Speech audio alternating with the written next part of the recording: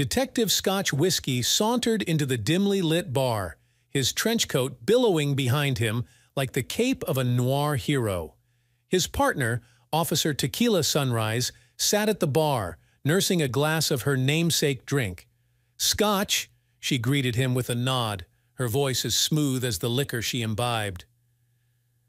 Tequila, Scotch replied, taking a seat next to her.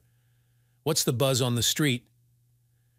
Tequila swirled her drink thoughtfully before answering. Rum and vodka got into a brawl down at the docks again. Seems Rum accused vodka of diluting his reputation, Scotch chuckled. Those two never learn. Let's go break it up before they end up in a cocktail shaker. They made their way to the docks, where Rum and Vodka were exchanging blows, their respective crews egging them on. All right, break it up, you two, Scotch bellowed, his authoritative voice cutting through the raucous scene. Rum and Vodka reluctantly stopped their scuffle, eyeing the detectives warily. What's the problem here? Tequila demanded, her gaze piercing. Rum took a swig straight from the bottle before replying, This cheap vodka has been watering down my reputation for years. I won't stand for it any more. Vodka scoffed. Your reputation was already watered down, Rum. At least I have some bite.